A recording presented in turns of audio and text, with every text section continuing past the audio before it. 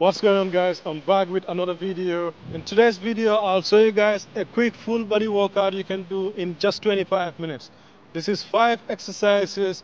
We'll do 12 reps on each and go for four rounds. It's gonna be a circuit You go through all five, rest for a minute and repeat for four rounds. This is really gonna challenge you. So get ready and let's go.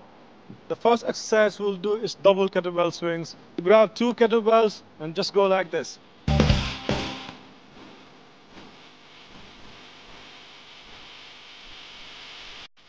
And next we'll do kettlebell thrusters. Same thing, two kettlebells.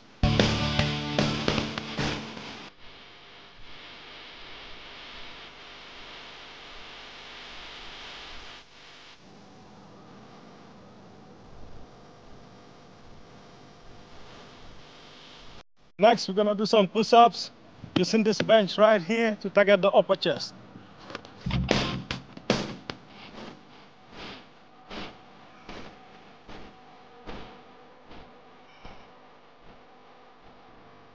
The next thing we'll do is some mountain climbers to really target the core and get some cardio effect.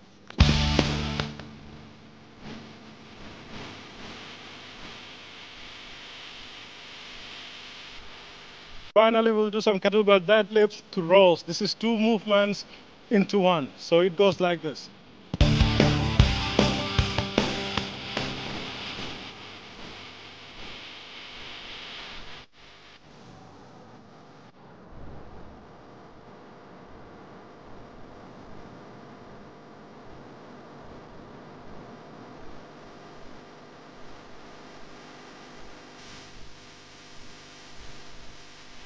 That's it for that workout.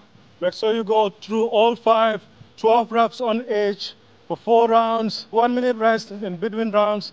Go for four rounds to take you about 20, 25 minutes, depending on how hard you're pushing yourself. So you like this video and comment below what other videos you want to see. I really appreciate you guys.